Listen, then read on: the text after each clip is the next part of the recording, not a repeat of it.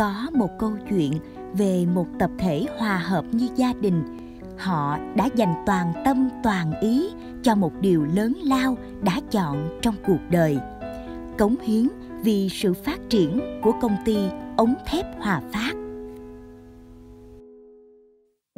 Đoàn làm phim chúng tôi đến gặp anh nguyễn ngọc vinh, đại lý huyền vinh. Đây là đại lý đầu tiên phân phối ống thép hòa phát câu chuyện hôm nay sôi nổi và hấp dẫn đến mức khiến những kỷ niệm về thời kỳ đầu của công ty ống thép bỗng trở nên sống động hơn bao giờ. Lúc ấy mà nói đại lý ấy, thì là lúc ấy gọi năm nhà đến để họp thôi. Chứ cũng về sau bắt đầu mới in lên cái quyển ờ, eh, catalog của Hòa Phát là những cái nhà phân phối đầu của Hòa Phát đấy. Thì lúc ấy bọn anh mới biết thực ra và lúc ấy bọn anh mới biết là bọn anh được làm đại lý. Đi qua thăng trầm của thời gian, người đàn ông này trở nên cứng cỏi và can trường. Với anh Vinh đã gắn bó với nghề mà cụ thể ở đây là kinh doanh sản phẩm ống thép hòa phát thì sống chết cũng gắn bó với nó. Trong lúc làm đại lý thì bao giờ nó cũng có những cái lúc thuận và có những lúc khó. Ví dụ như bên anh nói luôn là có những cái thời điểm mà bên anh chẳng hạn anh được giao những cái bán cho một mảng là sản xuất. Những cái hàng mà anh được ờ, phép làm ấy, thì bắt đầu nó có cái vấn đề là đi xuống đi xuống một cách trầm trọng. Thì ờ, sau ờ, năm 2013 thì anh có, cũng có lên đề bạt, đề nghị lên các anh lãnh đạo cùng anh em nhân viên ở bên Hòa Phát, công ty ống thép thì cũng được sự giúp đỡ. Từ gian đầu anh cảm giác nó là như là một cái gia đình của mình mà. Tại sao gia đình của mình mà mình cứ phải giấu giếm cái gì? Mình phải nói đúng chứ, mình nói thật chứ một minh chứng rõ ràng về mối quan hệ thân thuộc như anh em trong một gia đình. Đó là người ta dám nói thẳng dám góp ý chân thành vì lợi ích chung. Mình đâu có phải là cái người ừ, mới quen để mình cần ừ, vụ lợi cái gì đâu. Mình chỉ qua đây mình nói để, để đúng để cho cả hai bên đều có phương pháp để giải quyết một cái công việc rất cụ thể nào đấy để cho không bị vướng mắc nó không bị ức chế. Đến lúc làm thì nó nó dễ làm hơn giữa trời đất Quảng Bình nắng gió, chúng tôi gặp chị Vân, chủ đại lý Vân Cộn. Chị là một người phụ nữ bản lĩnh và là minh chứng cho sự vươn lên mạnh mẽ. Đối với chị Vân, cơ duyên lớn nhất cho đến giờ là trở thành đại lý của ống thép Hòa Phát. Trước đây khi mà tiên thân là chị làm làm mặt hàng gọi là bây giờ gọi là phế liệu ấy mua những cái sắt người ta bỏ ừ, phá dỡ nhà cửa rồi.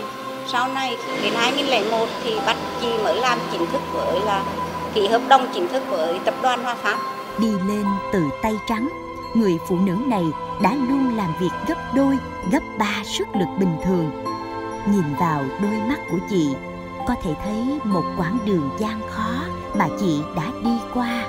Ban đầu khi hai vợ chồng mới à, lập nghiệp thì à, vay mượn. Máy vay mượn tiền thì mua được một chiếc Kia 125 có một hôm chị nhớ nhất là hai vợ chồng chị bóc hàng lên sông thì là 9 giờ đêm mà để cho chồng chị đi một mình á, thì chị cũng ngại. Bé thứ hai của chị là mới hai tuổi rưỡi. Là chị gửi gửi bé lại cho người giúp việc và hai vợ chồng chị là chạy suốt đêm. Để giao hàng trong trong xe hàng đó. Đó là thời kỳ là chị vất vả nhất. Trong thời kỳ làm ông thép khó khăn. Cuộc đời vẫn công bằng và chẳng phụ bạc ai cái gì. Thành quả ngày hôm nay thật khiến người ta vui cho chị. Một cơ ngơi hệ thống đại lý và nhà xưởng đang mọc lên. Bên cạnh đó công ty cũng đã tạo nhiều điều kiện hết mức để hỗ trợ đại lý của chị. Mình là làm với Hoa Phát, không thuận lợi hay là khó khăn mình cũng phải cố gắng vượt qua. Khi mình đã lựa chọn một thương hiệu nào đó thì mình phải gắn bó và có ý thức trong à, mặt hàng của mình đang ra và chịu trách nhiệm cho sản phẩm đó.